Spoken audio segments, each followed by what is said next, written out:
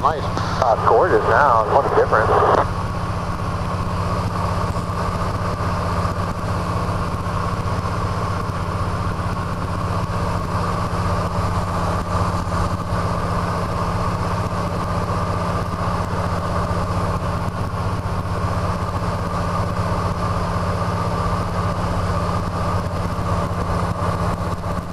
Well, I'm eight miles out. I better switch to 23.2. I'll catch it on the way return, maybe. Okay, see ya.